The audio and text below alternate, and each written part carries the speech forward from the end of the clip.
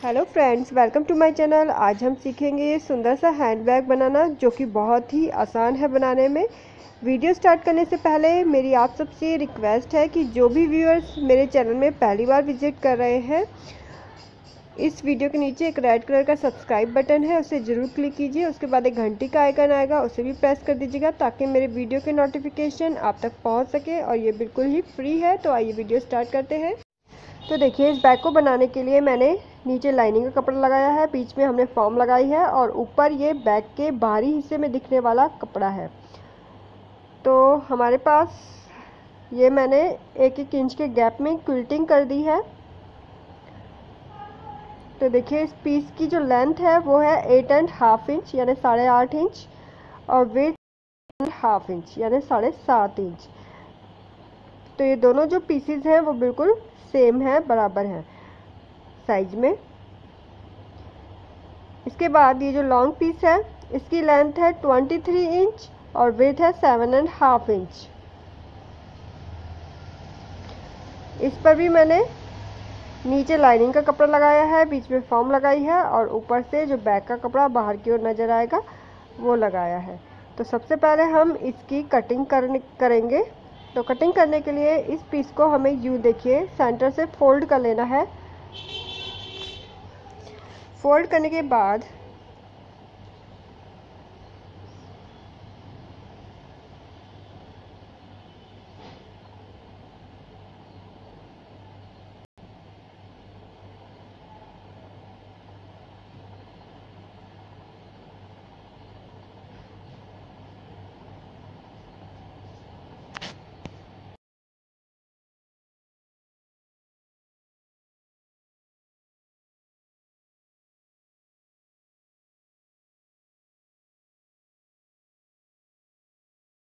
देखिए, फोल्ड करने के बाद एक इंच हमें अंदर की साइड लेना है और लेंथ इसकी लेनी है सेवन एंड हाफ़ इंच इस तरीके से हमें इसे तिरछा रखना है और एक लाइन लगा लेनी है।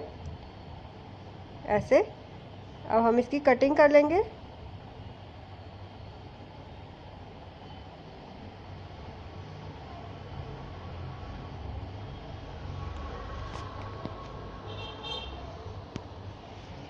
कटिंग करने के बाद दूसरी साइड से भी हमें एक इंच अंदर की साइड लेना है और सेवन एंड हाफ़ इंच पर इसे तिरछा यूँ लाइन लगानी है और कटिंग कर लेनी है।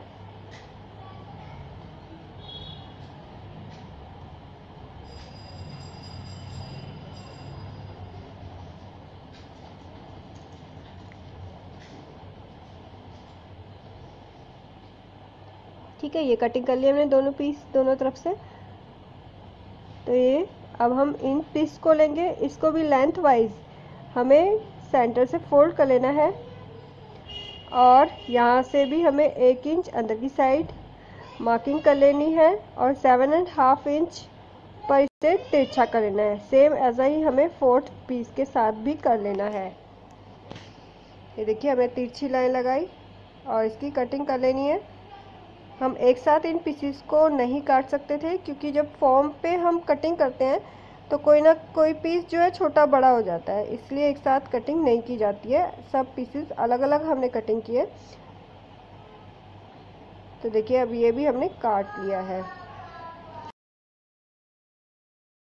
तो देखिए, इस लॉन्ग वाले पीस को हमें दोनों सिरे आपस में मिलाकर इसका सेंटर निकाल लेना है। सेंटर पे हमने मार्किंग कर लेनी है। यहाँ पर भी और यहाँ पर भी।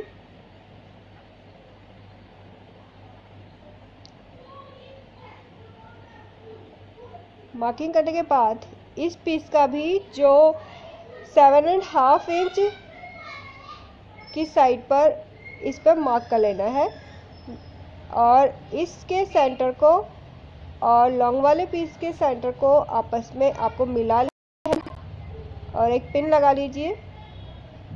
ठीक है? यहाँ पर स्टिच करनी है। और दूसरा पीस का भी हमें सेंटर निकाल लेना है।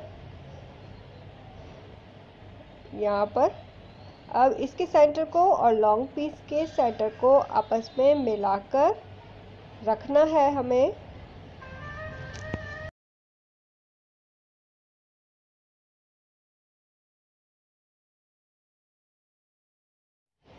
तो देखिए, ये भी हमने यहाँ पर पिन अप कर लिया और इसे भी यहाँ पे स्टिच कर लेना है।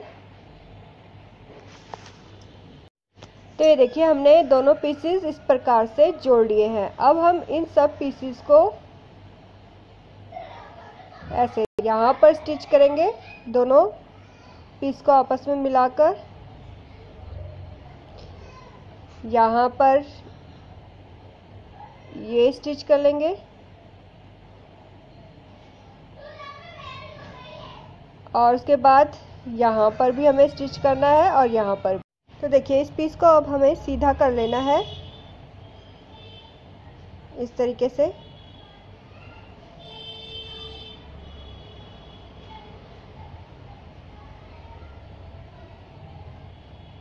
तो अब इस बैग की जो शेप है, वो इस तरीके से आपको दिखाई देगी। अब हम बैग के स्ट्रिप बनाएँगे। तो देखिए बैग की स्ट्रिप बनाने के लिए हमने 18 इंच लेंथ की और 3 इंच वेथ की एक स्ट्रिप ली है। तो दोनों स्ट्रिप हमें 18 18 इंच लेंथ की लेनी है।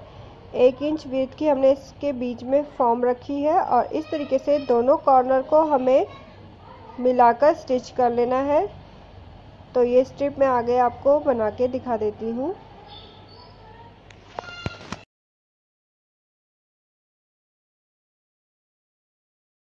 तो देखिए, इस स्ट्रिप के बीच में हम ये फॉर्म वाली स्ट्रिप रखेंगे और स्टिच लगा देंगे। दूसरी वाली स्ट्रिप भी हमें ऐसे ही तैयार कर लेनी है।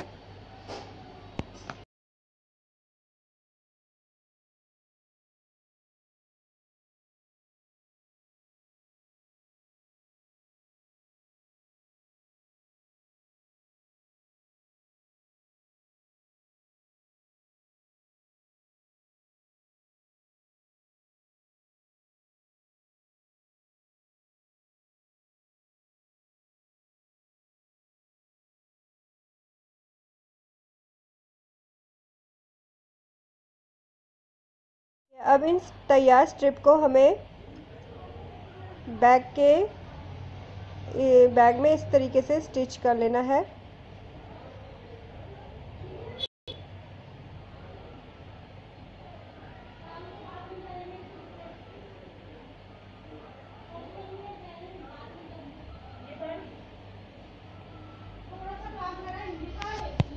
तो ये देखिए, यहाँ तक हमारा बैग बनके तैयार हो गया है। अब हम 11 इंच लेंथ की जिप ले रहे हैं।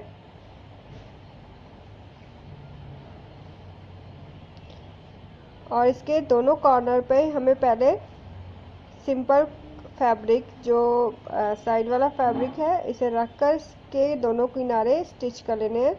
ये देखिए, ऐसे। हम्म। तो देखिए, इस तरीके से हमें इसे यहाँ पर रखना है।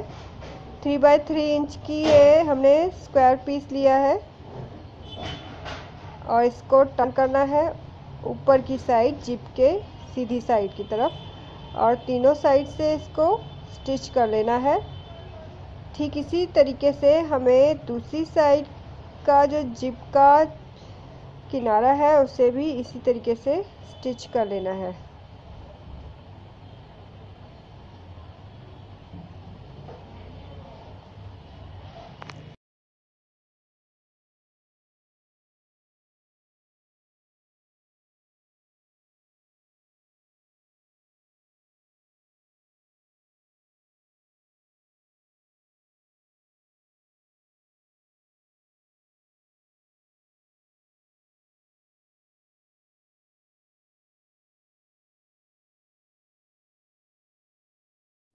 तो देखिए, अब हम इस जिप को इस तरीके से देखिए।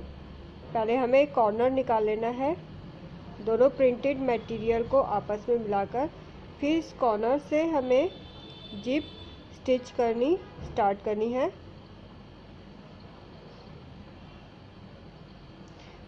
दूसरे कॉर्नर तक।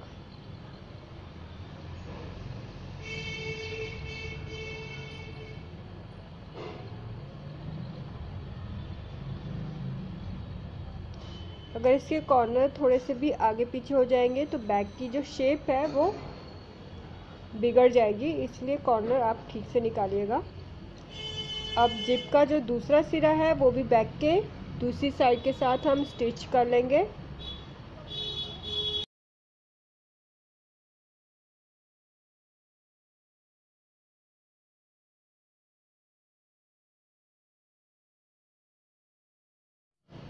ठीक है, अब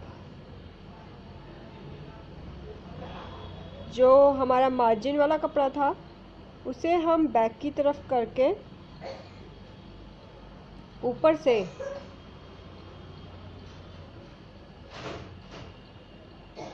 जो बैक का कपड़ा है, उसके ऊपर किनारे की स्टिच लगा लेंगे।